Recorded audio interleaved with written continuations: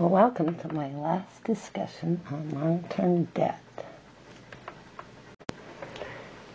This um, topic is on bonds issued with detachable warrants. Obviously, our goal is going to be to learn to do the accounting for bonds issued with detachable warrants.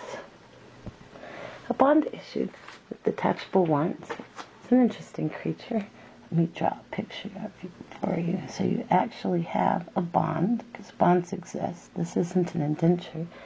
This is my actual bond. And on this bond, I am going to have some warrants that you could take off and sell. One, two, three, four, five. This bond has five detachable warrants worth it in my example. Let's give you some facts for a problem that might involve a bond that has five detachable warrants for it. See how you would do the accounting for it. In our story, let's say we issue a bond at 103%. We're only going to have one bond. You can say we're issuing a million of these if you want a lot of zeros. And each of our bonds that we're issuing has five detachable warrants. And a warrant and 50 bucks can be submitted to us to purchase one share common stock. So the person who owns this bond will have the bond still, and they could have as much as five shares of stock if they chose to exercise the warrants. Let's also assume that shortly after the issue, those warrants have been detached and are trading separately on the market for $4 each. Finally, let's assume that the warrants expire in six months from the date of issue. So the warrants, it's fair to say, were attached to the bond to make it a sweeter offer. So our offers are getting sweeter all the time. And the person that buys this bond can buy the bond for at 103, detach the warrants, sell them for four bucks each, and get 20 bucks for it right off the bat, or they can keep the warrants and exercise them. It doesn't matter who owns the warrants, anyone can exercise them and tender that along with $50 and acquire a share of our stock. So, first, let's make an entry to issue the bond. You've read the material, go ahead and give it a try. Cash will be 1030 or $1,000 times 103%. Our bonds payable will be a thousand because we always put the face value of bonds in bonds. Now we need to record the equity or the warrants. And I'm going to write equity here so you know that this is part of stockholders' equity. It's a temporary account in there because it does expire. We're going to assign to it the value this that they're trading at. There are five warrants at four dollars each. So we said they were trading at four dollars each. There were five attached to the bond. Five times four is twenty.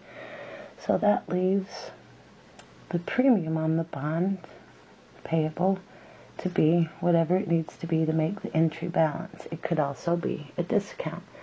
That wouldn't be a problem. So upon issue, we recognize that we have a debt and that we have potential equity, and the warrants would be shown as stockholders' equity, and they would stay there until they were exercised or expired.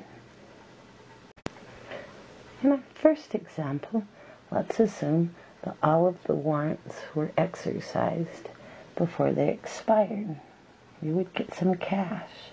We have five warrants outstanding. They have to tender $50 with the warrant, so we'll get $250 cash.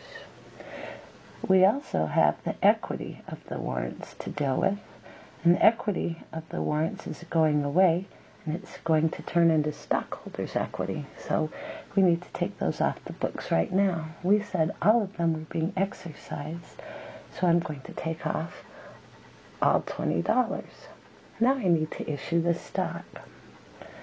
We're going to issue five shares of stock, because that's what we said we'd do.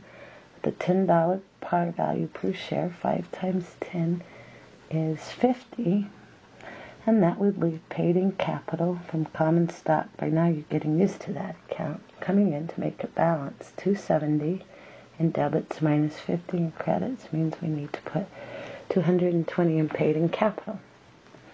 That entry assumes the warrants were exercised.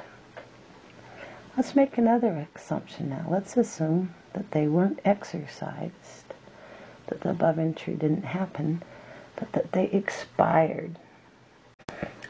If they are expired, no cash will change hands and no stock will be issued, but we do need to deal with the equity warrants account we left from the first entry. So we would say go to the equity account and grab stock warrants and zero that account and put it into a paid in capital from common stock account. It could be paid in capital common stock from expired warrants if we care to keep that account in that much detail, or it could reasonably just be put in the paid in capital from common stock accounts. Either way, once they've expired, they have no value, so we can't leave them on the book. So it will end with either A or B.